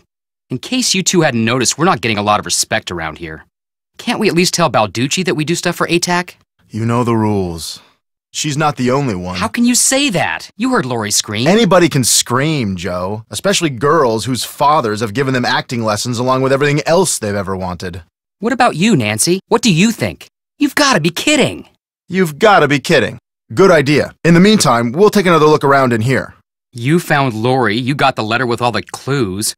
Guess you don't need us anymore. Oh, Joe, quit pouting. Want any help? Now you're talking. American Teens Against Crime. We do a lot of undercover work for them. Wonder Cop's probably never even been undercover. Joe, let it go. What'd Charleena have to say? The argument of the century. Joe, he's exaggerating. Aw, oh, come on, you heard them. They were ready to tear each other to shreds. Charleena and Lori. All we heard was the tail end of it, and unfortunately, we really couldn't make out what they were saying. No. But whatever it was, both of them were absolutely out of their minds, livid. And it would probably be a good idea to find out why. Very true. Not necessarily. Jake might not have told him the exact location. Maybe he just had him drop him off somewhere nearby. Well, still, we'd be way ahead of the game if we knew where that drop-off point was. The guy died more than a hundred years ago. How are we supposed to find out his name? Maybe Charleena What's-Her-Face could tell us how to go about it. All of which were common everyday items back in Jake's time. But not anymore. What's worse, Jake could have been referring to specific items, like his pickaxe, his spyglass, and who knows where they are now. Good. As for the pickaxe and the lantern, we'll keep our eyes open, right, Joe? You keep your eyes open, I'll keep my fingers crossed. Buell? Joe, show her! Show her what? That old picture we found! Uh, okay. Great! What else do you know about him? Good. Good. Yeah, finding out more about him will give us something to do. We'll look into it. Good news and bad news. The good news is he had a wife in Copper Gorge, so he may have had children. The bad news is our internet service provider stopped providing before we could use our cell phones to find out anything else. The question is, did somebody throw the brake or something? Oh, Joe, now you sound like Lori. Hey, I was the first one on the scene and I saw no one. John Gray. Then Balducci came bursting through one door while Frank and the engineer came through the other. Boy, was that guy ticked. He said the train could have derailed. He reset the brake, muttered a few choice words, then headed back to the engine just as you and Lori showed up. Everybody was there except Charleena. I don't think she left her laptop the whole time. Not likely, but possible, I guess. The question is, why? What did she or anybody else stand to gain by stopping the train? Answer? Nothing. Which is why I think we should at least consider the possibility that something less human in nature may be at work here. Ah, Joe. John Gray threw the emergency brake? Why would he do that? I still say there's less to all this than meets the eye, if you get my drift. I get your drift, Joe. I have lived with your drift for years. I am saddled with your drift. All right, all right. Look, this guy was old, okay? I mean, we're talking Jurassic. And guys that old don't joke around. They don't have time to. What you just heard is what I heard, word for word. Right. When Joe gave it to me, I about flipped. I know I should turn it over to Lori, and I will, but it's just so darn cool. I still don't see what the big deal is. I mean, it's not like it's from Mark Twain or anything. What? I almost forgot. You gotta check this out. It's just an old letter, Frank. You bet it's an old letter. I'll bet he does. He just doesn't want you to show him up again. Yeah, he wants you to do all the legwork so at the last minute, bam, he can swoop in and grab all the credit. I wouldn't tell him a thing, Nance. Unless it's to get lost. Frank, are you sure that's what he said? I'm positive. It's certainly possible. From the way she talked, it didn't sound like she knew any of them. Maybe that's what she wanted us to think. Or maybe that's what one of them wanted her to think. Absolutely. Not that I know of. You better. You know where to find us. If you need anything, just let us know. Sounds good.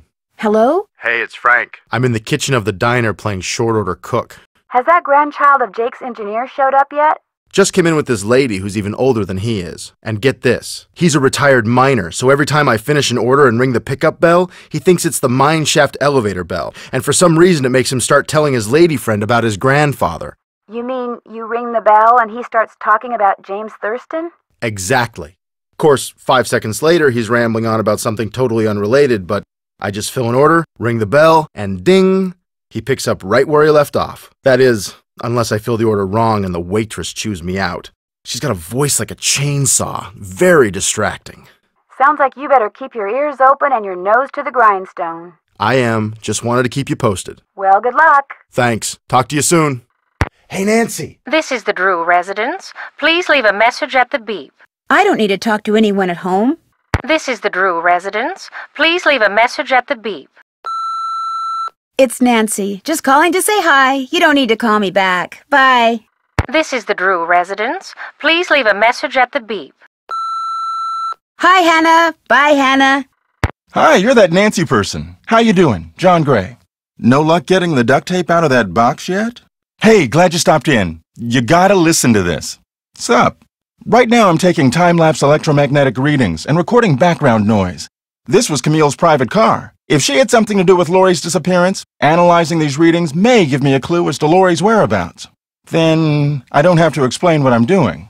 What to most people are ghosts are actually temporary distortions in local electromagnetic fields caused by the presence of residual psychic energy generated by the person or persons who frequented that particular locale. That's my working theory, at least. Sure, a train is basically nothing but a living space on wheels, and just like a house or a hotel, its walls can capture and hold energy, however infinitesimal, whatever its source. You see, it's all very scientific. But the fact is, Lori's missing, and I for one am doing everything in my power to find her. The vibes I'm getting make me think she could be in serious trouble. Charleena Purcell writes romance novels. End of comment. I kind of feel sorry for the guy. After catching those bank robbers, he can't just be a good cop anymore. He's got to be a great cop. Tough to perform under that kind of pressure. I doubt it. In fact, First time I met her was when I boarded this train with all the rest of you. I knew her by reputation, of course, like everyone else who reads the tabloids. It doesn't appear that anyone aboard this train is her friend. You mean so we'd concentrate all our efforts on finding Jake Hurley? Possible, although she really doesn't strike me as being the planning type. Wouldn't be surprised. Maybe you can be too rich after all. Got some right there in my gearbox. That's the good news. The bad news is, I can't open the box. I've never tried to open it without the key, but if you want that duct tape, go ahead and give it a shot. Need something else? Yeah, as a matter of fact, I am. When I went through the box I'd packed them in, that one over there, that's ridiculous. I didn't have any reason to pull the emergency brake. Newsflash, my show was canceled. Happened last night. But what nobody knows yet is that it's been picked up by a major TV network. Not only am I still on the air, but I'm sitting prettier than ever. Any other questions? Of course not. I made a couple of trips to my compartment in the sleeping car to get more equipment. But did I get an overpowering urge to pull the emergency brake while I was there? No. Really? Actually, I'm not surprised. They're probably some form of piezoelectricity. See, my guess is quartz crystals in the ground are being compressed as the train passes over them, and the resulting voltage, called piezoelectricity, is manifesting itself as glowing lights, probably because of some quirk in the train's shape or in the composition of the metals used in its construction. It was custom built, remember. Strange. My vibes are never wrong. What's even stranger is I'm still getting them. So maybe they're not about Lori. Maybe they're about you. Trust me, either you or Lori is, or soon will be, in big trouble. I happen to be both. What's commonly referred to as psychic phenomena is all a matter of energy. Just because we don't know where that energy is generated or how to measure it yet, doesn't mean that it doesn't exist. Unfortunately, no. Don't say I didn't warn you.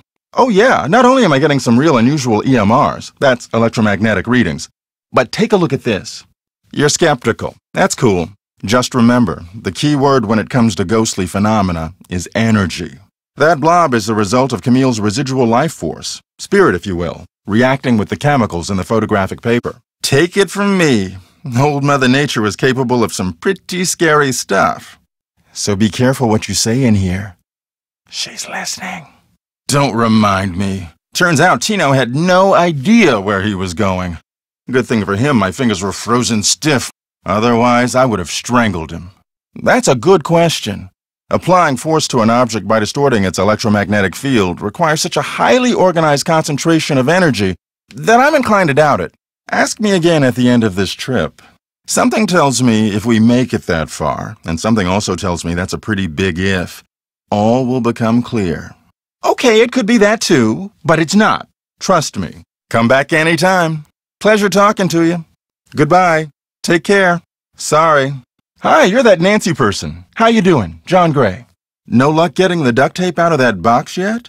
Hey, glad you stopped in. You gotta listen to this. Sup? Right now I'm taking time-lapse electromagnetic readings and recording background noise. This was Camille's private car. If she had something to do with Lori's disappearance, analyzing these readings may give me a clue as to Lori's whereabouts. Then I don't have to explain what I'm doing. What to most people are ghosts are actually temporary distortions in local electromagnetic fields caused by the presence of residual psychic energy generated by the person or persons who frequented that particular locale. That's my working theory, at least. Sure, a train is basically nothing but a living space on wheels, and just like a house or a hotel, its walls can capture and hold energy, however infinitesimal, whatever its source. You see, it's all very scientific. But the fact is, Lori's missing, and I for one am doing everything in my power to find her. The vibes I'm getting make me think she could be in serious trouble. Charleena Purcell writes romance novels. End of comment. I kind of feel sorry for the guy. After catching those bank robbers, he can't just be a good cop anymore. He's got to be a great cop. Tough to perform under that kind of pressure. I doubt it. In fact, first time I met her was when I boarded this train with all the rest of you. I knew her by reputation, of course, like everyone else who reads the tabloids. It doesn't appear that anyone aboard this train is her friend. You mean so we'd concentrate all our efforts on finding Jake Hurley? Possible, although she really doesn't strike me as being the planning type. Wouldn't be surprised. Maybe you can be too rich after all. Got some right there in my gearbox. That's the good news. The bad news is, I can't open the box. I've never tried to open it without the key, but if you want that duct tape, go ahead and give it a shot. Need something else? Yeah, as a matter of fact, I am. When I went through the box I'd packed them in, that one over there, that's ridiculous. I didn't have any reason to pull the emergency brake. Newsflash, my show was canceled. Happened last night. But what nobody knows yet is that it's been picked up by a major TV network. Not only am I still on the air, but I'm sitting prettier than ever. Any other questions?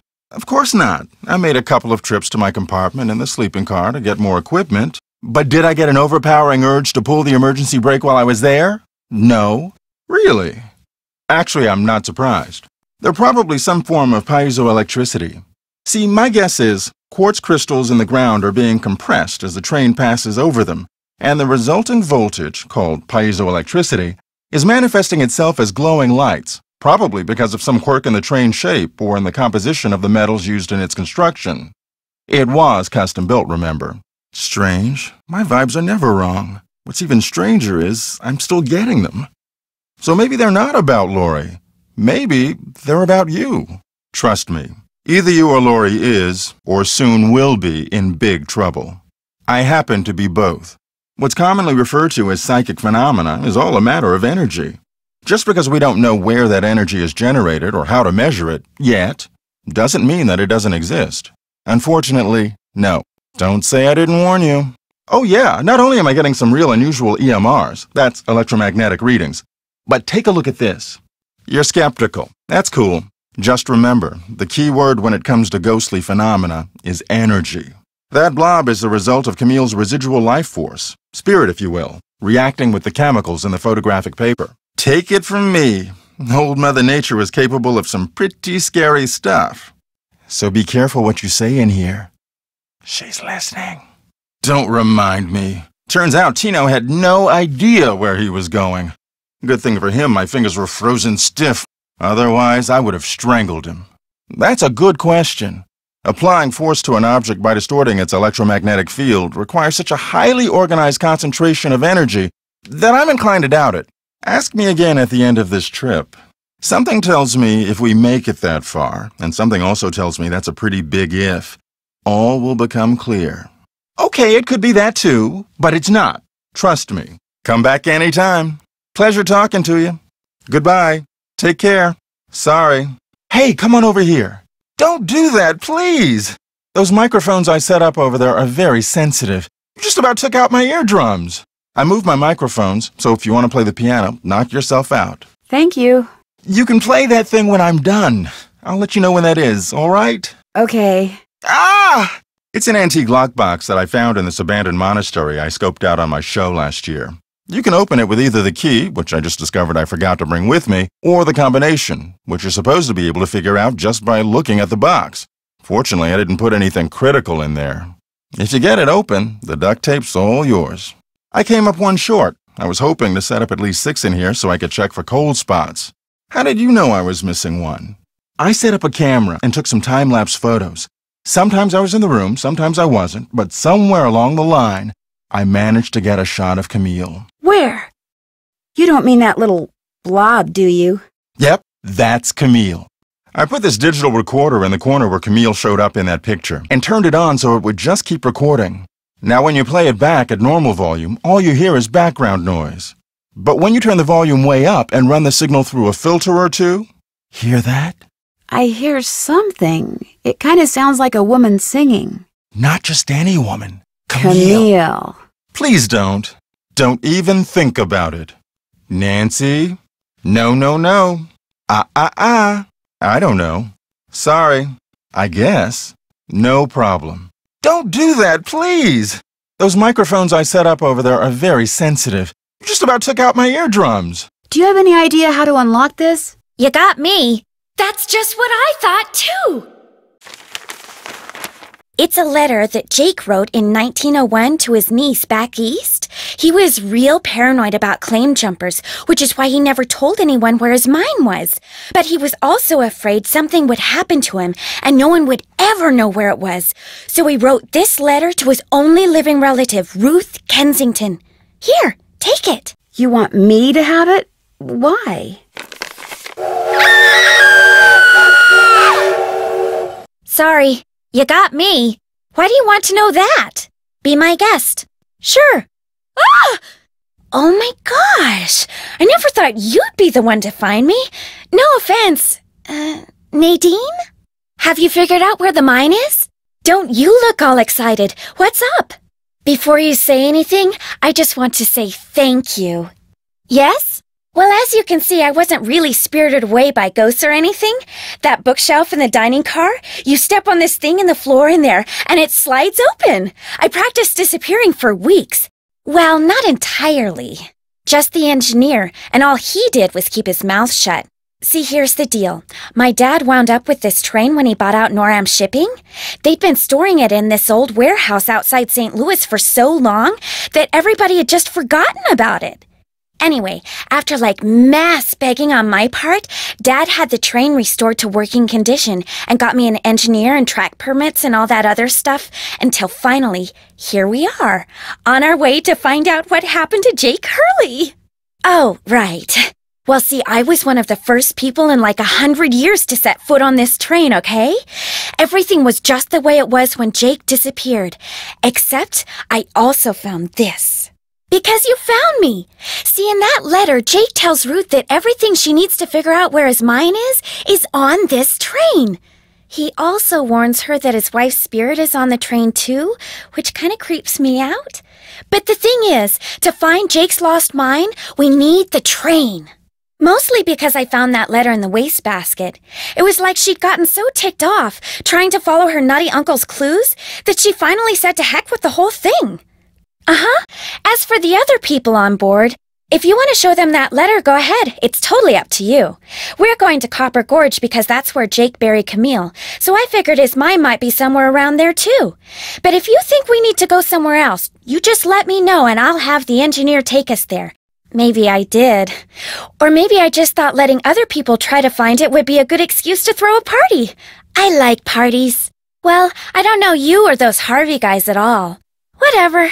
I didn't know John Gray before this either, but I love his show, and I figured he'd jump at the chance to investigate an honest-to-goodness haunted train, and now that someone has finally found me, I can finally go meet him for real. I met Tino right after he got famous for solving those robberies. Inviting him here for this was a no-brainer. I mean, what an awesome detective. And those piercing eyes of his, you just know his mind's in there going 90 miles an hour. I just know her from her books, which are so good. In fact, I just started reading her latest one, The Moon Tells No Lies. See, what I'd really, really like to do is write romance novels. Everybody who knows me says I'd be really good at it. In fact, a while back, I sent Charleena some ideas, you know, just to see what she thought. She hated them. That's an understatement. Let's just say my idol turned out to have dirty feet. Whatever. Let's either talk about something else or not talk at all, okay? So what do you want? How did you know that? We went out a couple of times, yeah. As for why we stopped going out, you'd have to ask him. A pen? A pen. Do I have a pen? Nope, afraid not. Sorry. Duct tape? Duct tape. Nope, afraid not. Sorry. I know exactly who did it. Well, who else could it be? Camille. None of us has any reason to stop the train but Camille. She doesn't want us to find Jake's mine, so she's going to do whatever she can to keep its location a secret. Well, duh. That's why I know it's her. What's more, your friend that Jim Harley guy? Yeah, well, he thinks it's Camille too. He just doesn't have the guts to say so. Way to go! I knew you could do it, Francie! Here's the deal. When we get there, I'm going to make sure that you get to be the first one to check out the mine. I'll call everyone together in the dining car, and while we're in there, you slip off the train. Will 10 minutes be enough of a head start? Think of it as your reward. Of course, anything you find in the mine is, well, mine. So if I find out that you've taken something without telling me, let's just say things could get ugly. I have the feeling that thanks to you, we are about to discover something huge. Great job, Amy. I know, but Jake's mind my eye. We went tramping through the snow, lugging all this equipment John insisted on bringing, and where do we end up? At this teeny tiny, half-rotten, tumble-down outhouse. Well, he said it was the opening to a mine shaft, but then John said if it was, shouldn't the hole be going into the mountain instead of just down? So they stood there arguing until Tino finally grabbed a shovel, went inside, and started digging. What he found was definitely not gold. Of course not. If he didn't have such nice eyes, the man would be a total zero.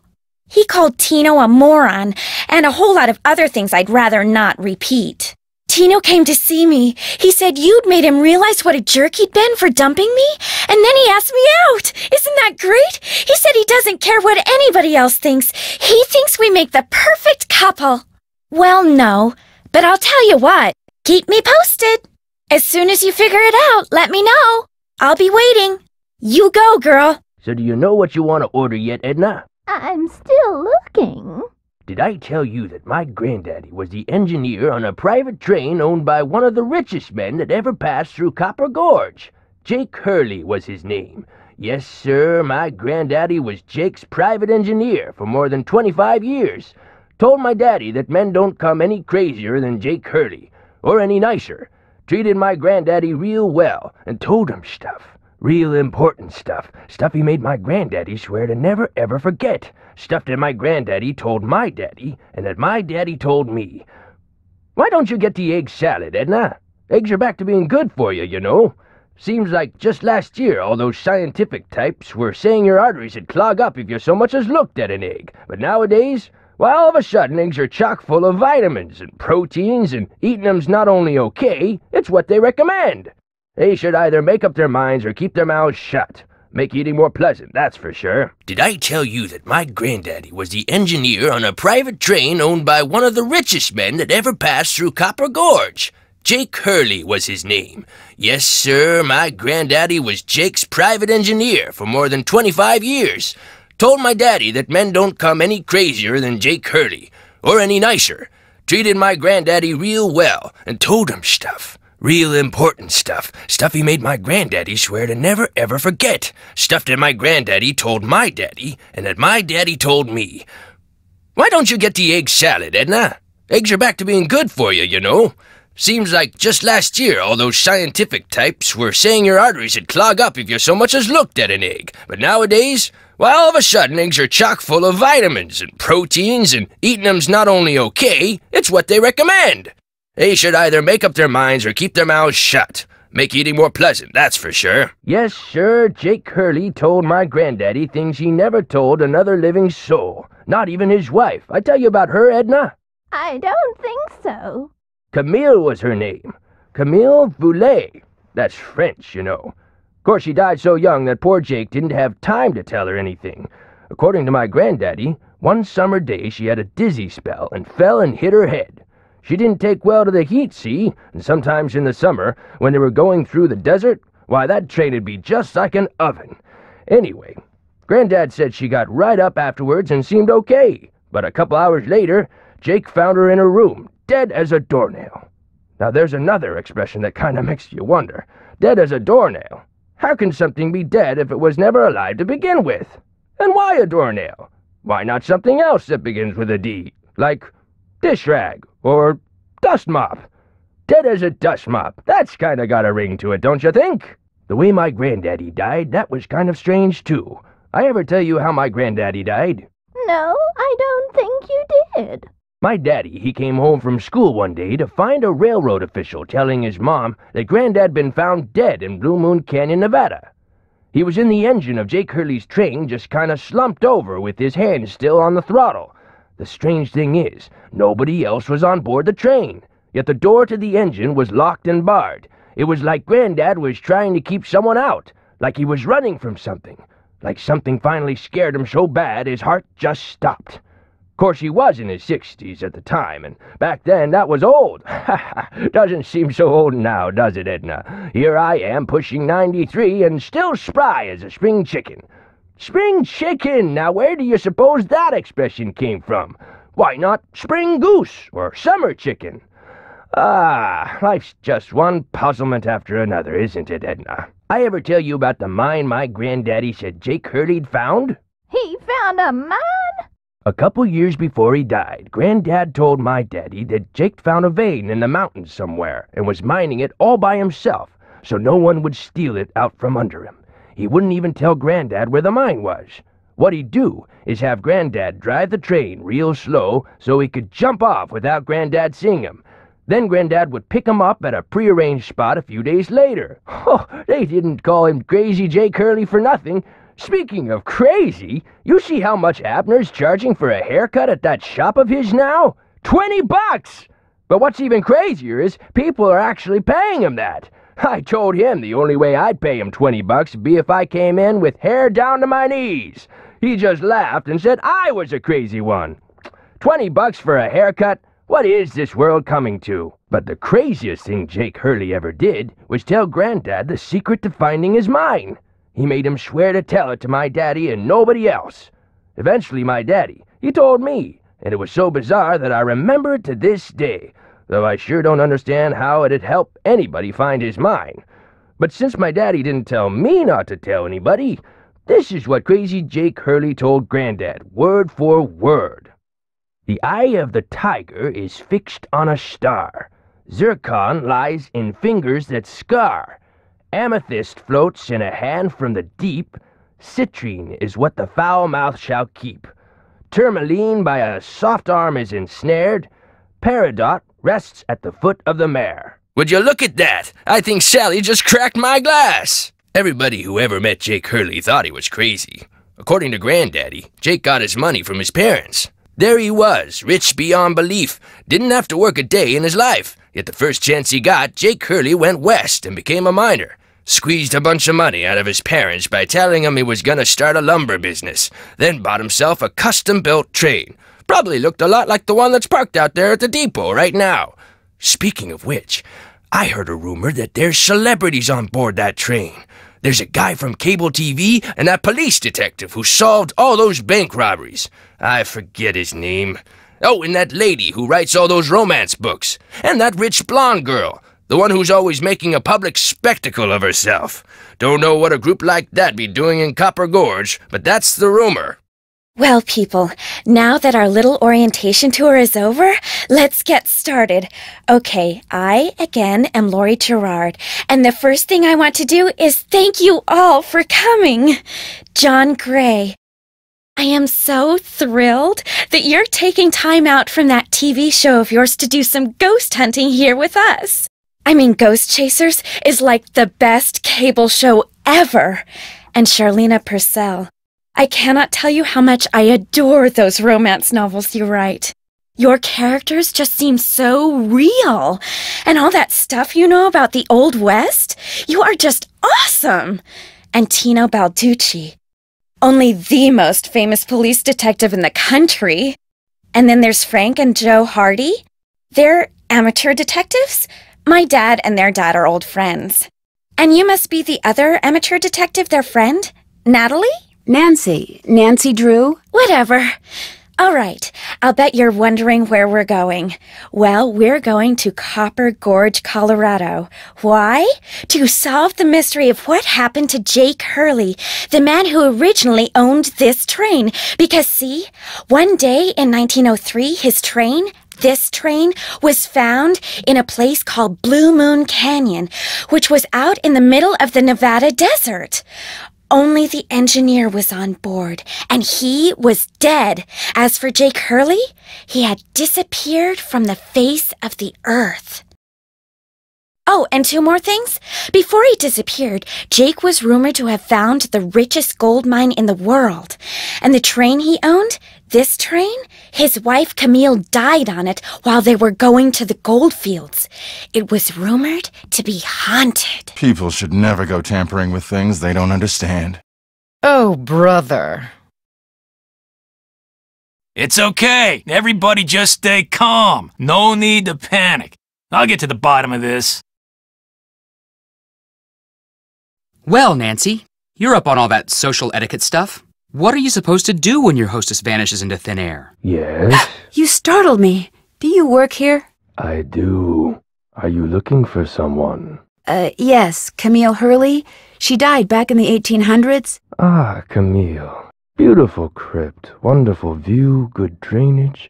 Whoever buried her must have loved her very much.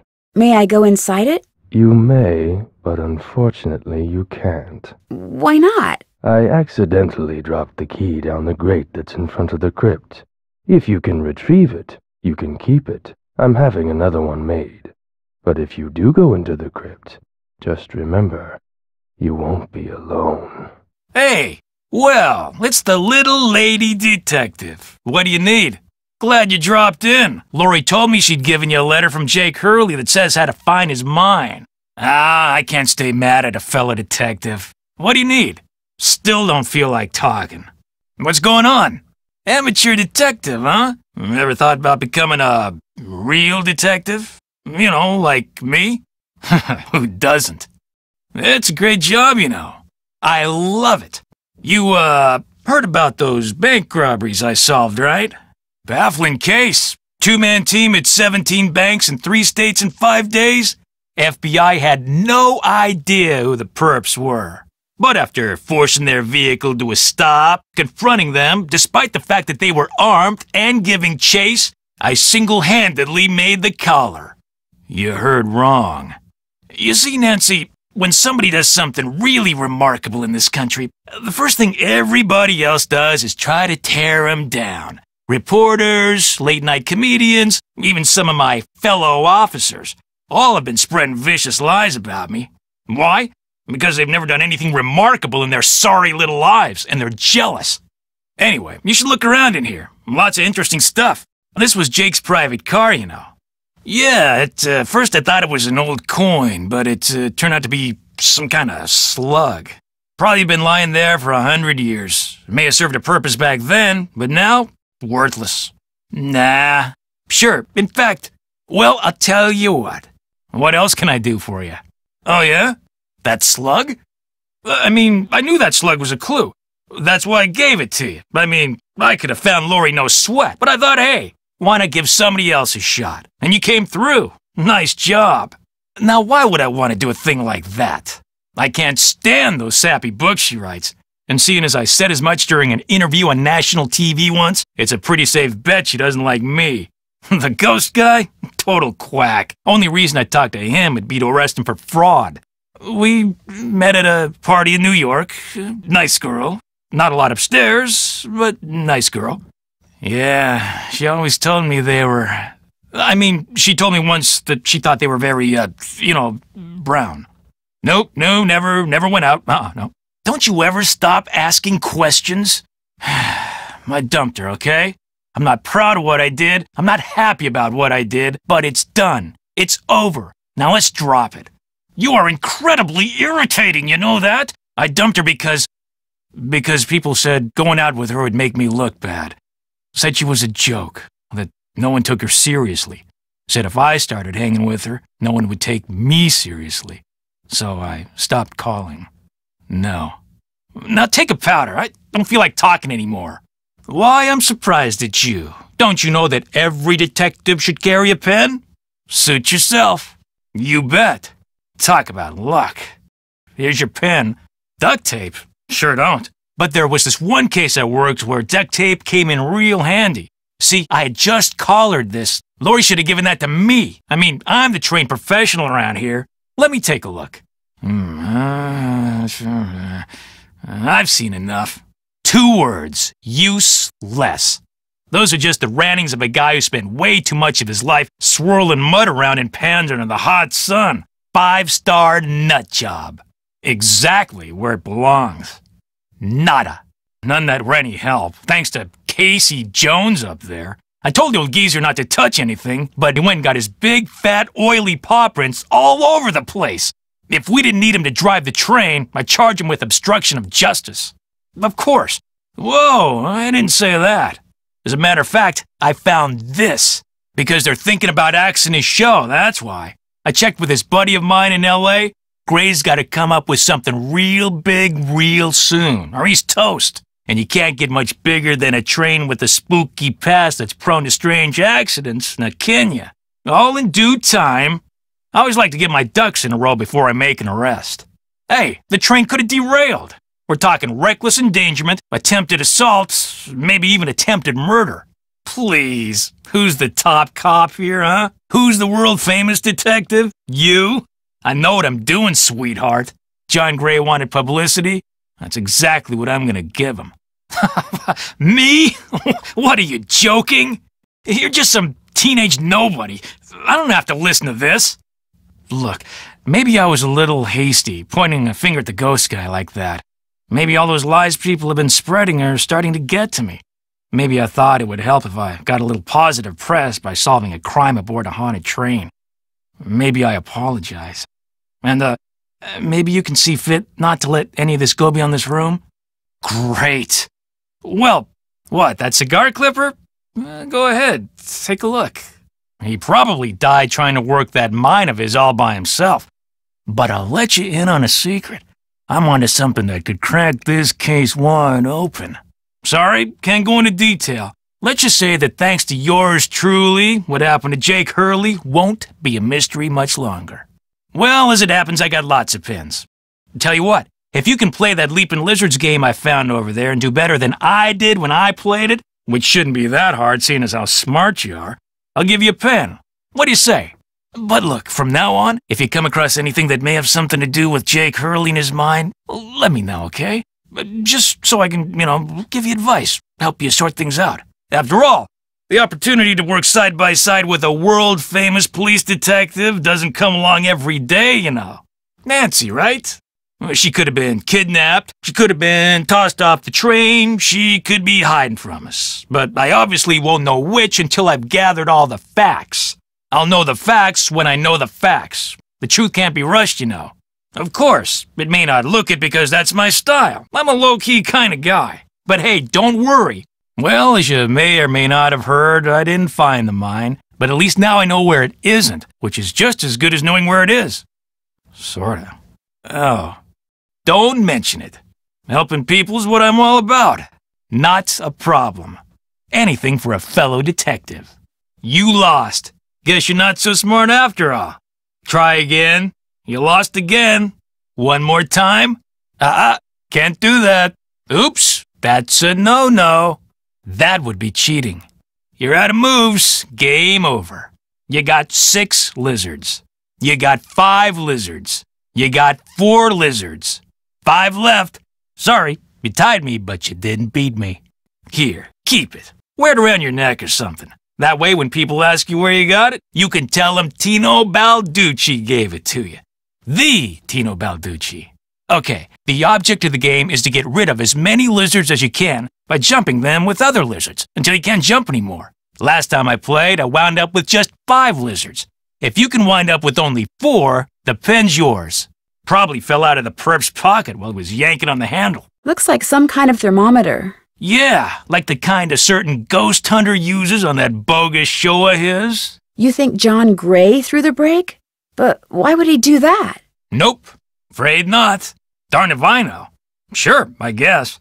Yeah? Why? Hey, this isn't what my customer ordered. Come on, you back there in the kitchen, pay attention. Make me another one fast. And do it right this time. Ooh-wee, that Sally's got some voice on her, doesn't she? Hey, this isn't right. What's the matter with you back there? Can't you read? Do the order over and do it right, okay, Einstein? Hey, take it easy on the poor fella, Sally. If he quits, you'll have to cook. Then what'll we do? Whoa, whoa, whoa, wrong! I'm not serving this to my customer. Come on, new guy, make me another and make it right, or else.